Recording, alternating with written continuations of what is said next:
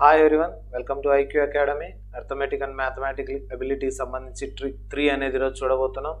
ఈ ట్రిక్ వచ్చేసి సైడ్స్కు సంబంధించిన ట్రిక్ సైడ్స్ క్వశ్చన్ ప్రతి ఎగ్జామ్లో మనకు కనిపిస్తూ ఉంటుంది. సో దానికి సంబంధించి స్క్వేర్ రూట్ ఆఫ్ అని ఇన్ఫైనైట్ టైమ్స్ ఎప్పుడైనా ఇలా వస్తాయి.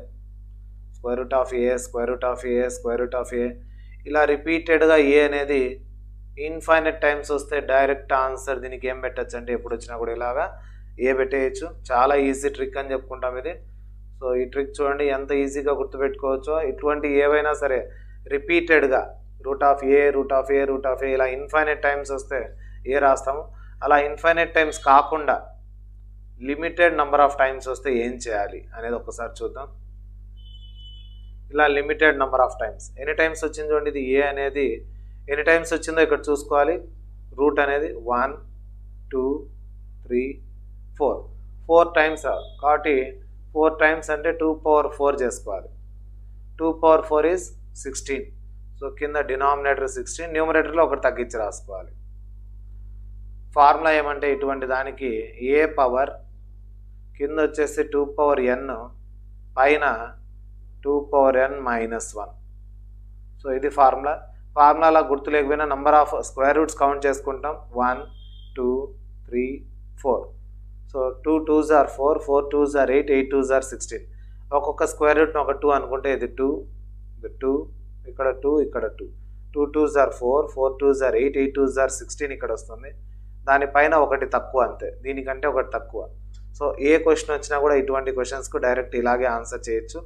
ఒక చిన్న ఎగ్జాంపుల్ తీసుకొని చూద్దాం. Square root of six root of six root of six square root of six. Infinite times వస్తాయి ఎలా? ఇన్ఫైనైట్ టైమ్స్ కాకుండా ఫర్ ఎగ్జాంపుల్ కొన్నిసార్లు మాత్రమే ఇలా వచ్చింది అనుకోండి square root of six square root of six and square root of six infinite times వస్తే direct answer ఏం పెట్టేస్తామంటే ఇక్కడ ఏది ఉందో అదే ఆన్సర్ పెట్టేస్తాము.